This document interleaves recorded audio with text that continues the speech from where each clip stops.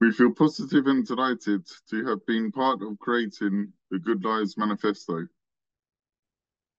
We feel optimistic that we can empower other people to use their voice.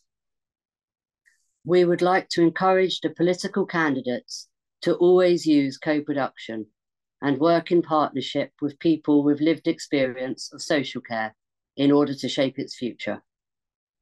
Please make sure to share the Good Lives Manifesto with your local political candidate.